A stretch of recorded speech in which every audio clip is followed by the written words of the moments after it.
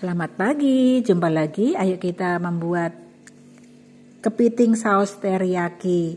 Biasanya kalau kita masak kepiting itu uh, tidak boleh mati ya kepitingnya ya. Jadi harus hidup.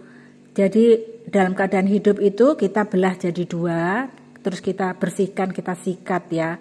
Uh, karena kan kepiting itu ada kotoran-kotorannya yang di depan-depannya itu. Nah ini bumbunya mudah banget. Hanya bawang merah, bawang putih, jahe kita tumis hingga harum. Setelah itu kita masukkan kepitingnya.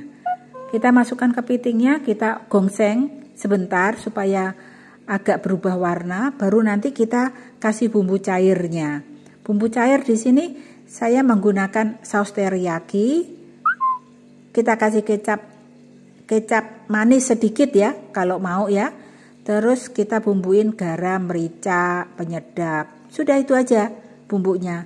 Kalau mau ada cabai eh, apa cabai rawit boleh dimasukkan gitu aja utuh-utuh ya kita masukkan. Terus ini kita ungkep.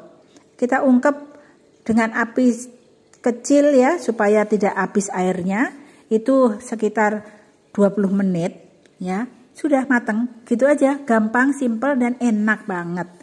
Ini kalau di restoran Chinese itu mahal, isi dua itu dua satu satu ekor dibagi dua ya maksudnya ya. Itu sudah 50 ribu, 60 ribu. Nah ini tadi saya beli 50 ribu dapat tiga ekor.